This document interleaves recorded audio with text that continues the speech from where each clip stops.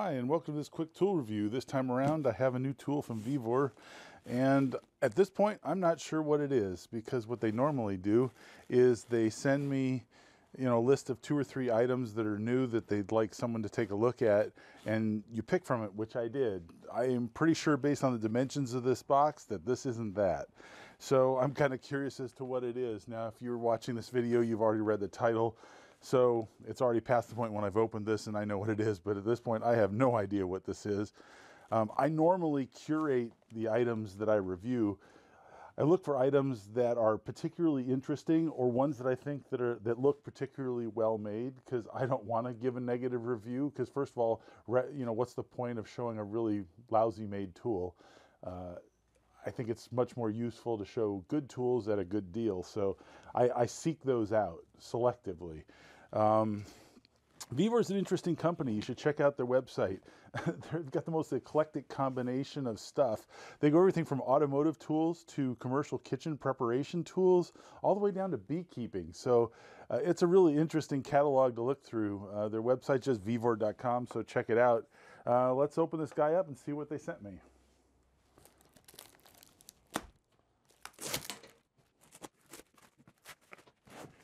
Whatever it is, it is seriously heavy. The one thing I've noticed consistently about Vevor stuff is the box, the packaging, uh, seems to protect it well enough to survive all the way from China to the United States, which is uh, good because I can't say that for everything I've gotten by any stretch. Sometimes even stuff in the United States uh, isn't strong enough to deal with shipping inside the United States. Oh, okay. Porta Power Jack. Sticker's kind of coming off there. Well, this is a nice plastic case. Let's get this guy out of here.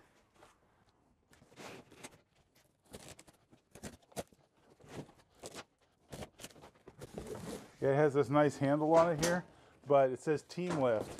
So interestingly enough, there's only a handle on one side, but there's wheels on the other side. So that should be warning enough, right?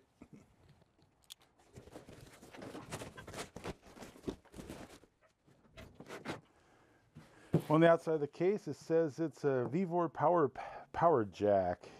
10 tons, lifting pressure 10 tons, ejector stroke 135 millimeters. That makes it about 5 inches. Uh, a little bit over. It's a really interesting case.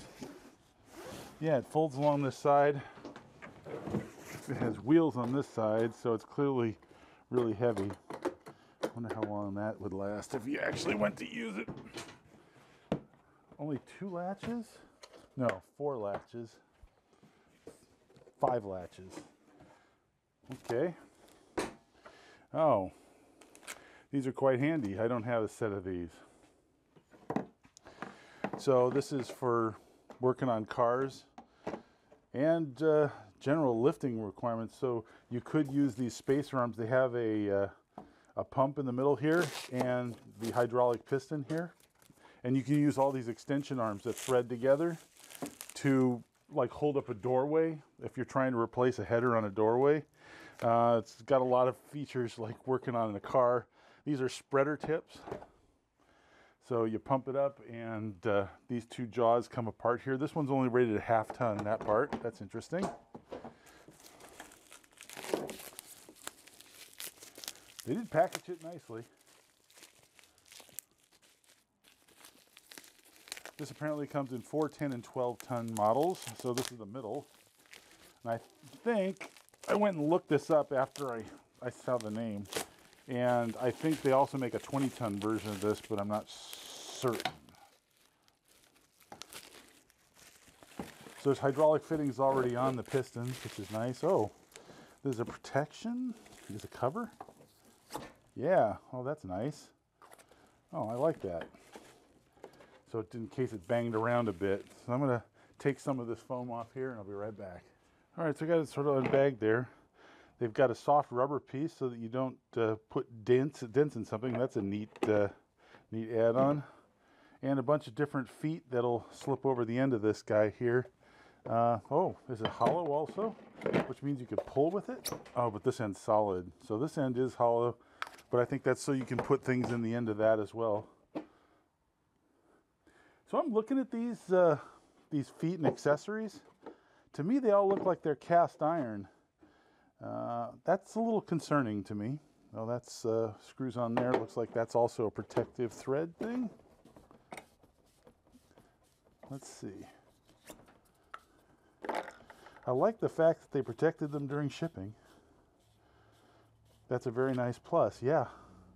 So it looks like this guy will go on here in case you wanted to separate, you know, press two things apart. Ah, the threads are nice. Very nice, actually. Oh, this could just press on. Interesting. So all these these feet and accessories, like between this one and this one, put this guy on, put this guy on, you could press two parts, two things apart that are fairly close together, and even have this so it nests a little bit. Not completely, that would have been a nice touch. But these look like cast iron, and I think I need to test that because cast iron to me, I might be wrong, but cast iron seems a little bit risky. Oh, this pin goes in the butt here so that you can put any of these accessories in the rear of this thing as well. Ah, yeah, that's nice. In their description of this parts, these parts are both made out of uh, high strength steel, uh, carbon steel, but it looks like a lot of pieces of this are cast iron. Let's give that a quick test. So I thought I'd check and see if this really is cast iron because it looks like it. So I'm going to drill a saw hole through the side here because this part is mostly pushing, so I shouldn't weaken it too much by drilling through the side. I don't want to permanently damage it, but I'm really curious. And I'd say based on those turnings, this is definitely cast iron. I don't need to go any further. I don't know if you can see that, but they're it's typical cast iron turning. So I think these are cast iron, and that has me a little concerned. Uh, someone else can weigh in on that and let me know. But it seems risky on high uh, high force parts to use cast iron because it can it's brittle and it gives suddenly rather than deforming and giving you a warning that it's uh, it might fail. So that's a little concerning, but uh, there's a large combination of accessories here, so why don't we combine them and take a look at that. So the manual on this guy is actually pretty good, and they talk about a bunch of different configurations. And they also tell you how to derate the strength, you know, how much force this should apply safely uh, based on those conditions. I'm not quite sure how you work that out when you're actually doing it, but uh, maybe it'll only apply that much force. I don't know. Or you need to be careful not to apply more force than that. So here's one that seemed pretty generic to me that I thought would be really useful. I don't actually need to take this part off yet, but I'll save myself some trouble.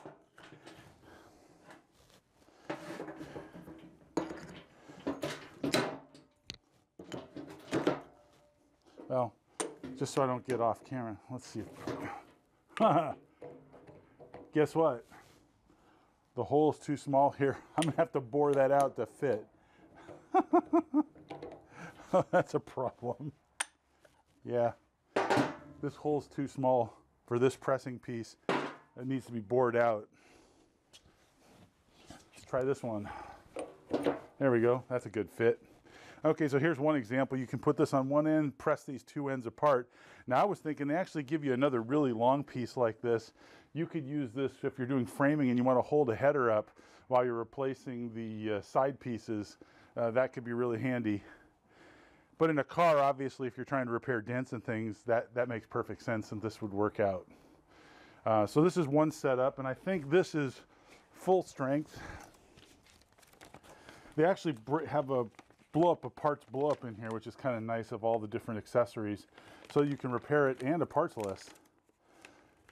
So this is 100% like this. They're saying this is good for a full 10 tons.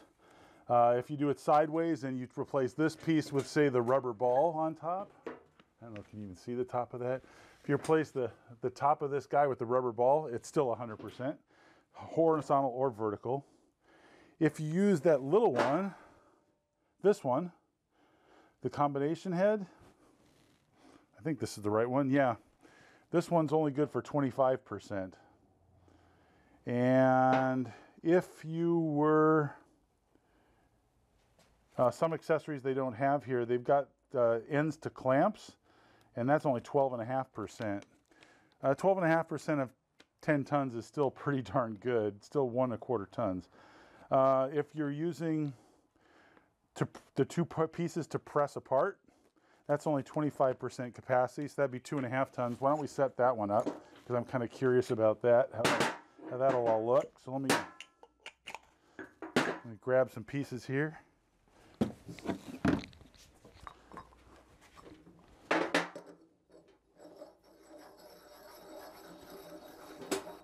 And you can understand why they need to derate this a little bit potentially because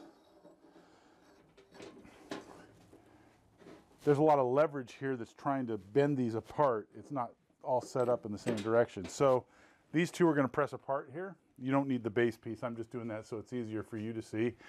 So that's another configuration. That's good for 25%. There's another accessory that's also not here that's a full 100%, a chain pull plate to pull two chains tightly together.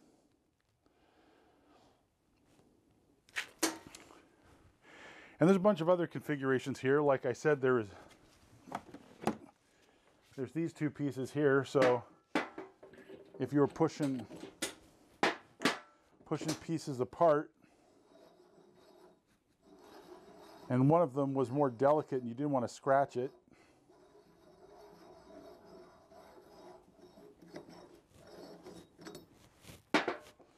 You've got this rubber piece, which is pretty heavy duty and uh, won't damage it. That one fits perfectly. The only one that doesn't fit so far, let's see, how about this one? Yeah, that one fits too. It's really interesting that this one, they kind of fooped on the casting.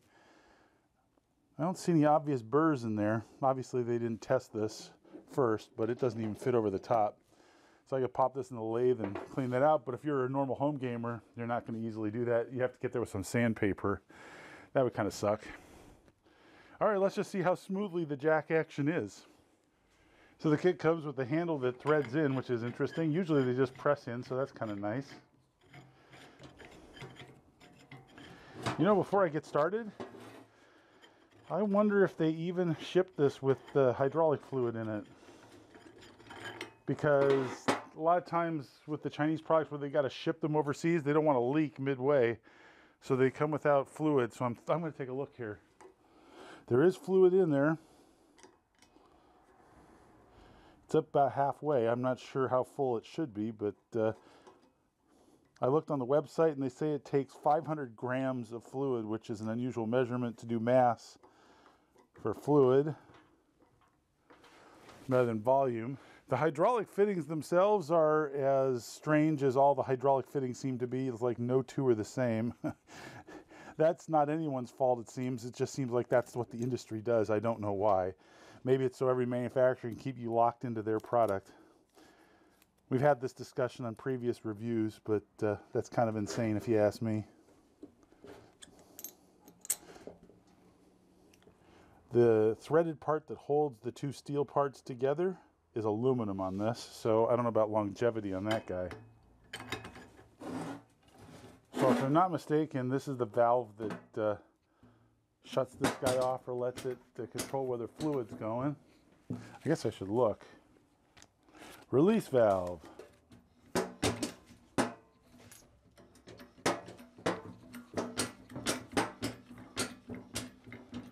So I don't know, maybe it doesn't have enough fluid in it because I gotta tell you, it's pumping.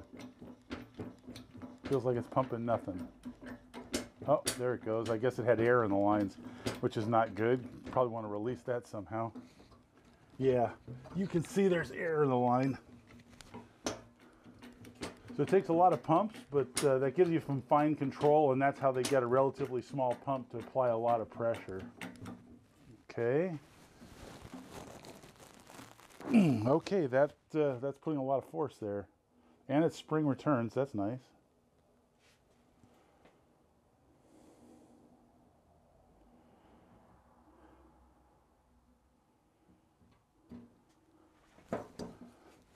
All right. That's reacting a little bit more immediately the second time, but there's still air in it. So, let me see.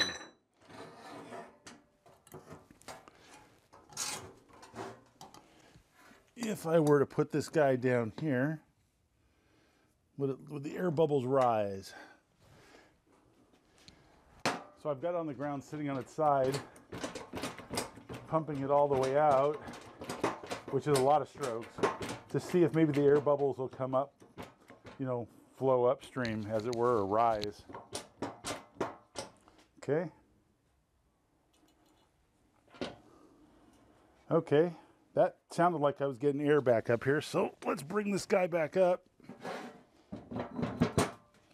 See how it is now.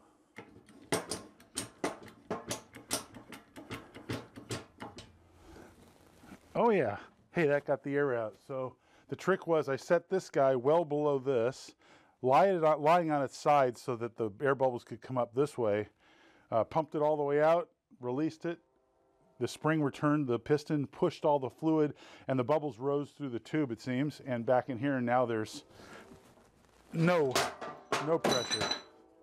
Those pop off kind of easily. So that worked pretty well. Let's try, let's try the spreader tip.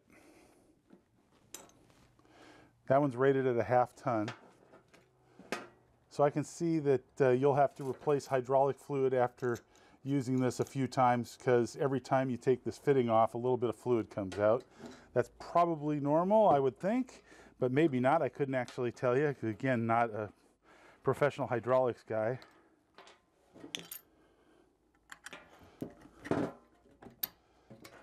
All right. So this guy, oh, that works really quickly. That's fantastic. I could see you wanting to use that want to spread two things apart that are stuck, that could be a really handy piece. This one doesn't have much air in it. And they're auto returning. That's pretty good. All right, so it's a really nice set as far as the number of components it includes. Uh, it comes with an awful lot of accessories. The uh, plastic fittings here don't hold that all too well. This is supposed to fit here. Doesn't really sit in. I think there's a larger diameter than they planned for. The, it comes with an awful lot of accessories. I have a concern that they're made out of cast iron. So uh, someone knows more than I do. Give me some feedback on that because I'd love to hear what you think. The set is fairly complete. I could see a lot of uses for it. The price is, I'm going to look it up after I do this video. So the price is this. Look below here. Um, I suspect that this price is probably about maybe one tenth the price of an Enerpac equivalent if Enerpac does make an equivalent. Um, sometimes you get what you pay for. Well, a lot of times you get what you pay for. Uh, but if you're not going to use this every day, if you're doing like a one-off thing and you need to be able to spread two parts of a car frame out or bumper or any other part you're working on, you're not doing it every day, this might be the perfect solution for you. I suspect this is just a little over a hundred bucks. I would guess the Enerpac would be way over a thousand and these accessories would be mostly extra. Um, this can be a really handy tool for more than just automotive work. Again, I, I have concerns about these all being cast iron parts. Uh, please weigh in on that. So think about that. There was this part that did not fit at all. So that's a kind of a bummer in their QCing there. Uh, but overall, the set's probably worth it if you're only going to use it once in a while. If you're using it every day, you should have a whole different uh, uh, decision matrix to decide whether this is for you. So thanks for watching. Hope you find it useful. Hope to see you next time.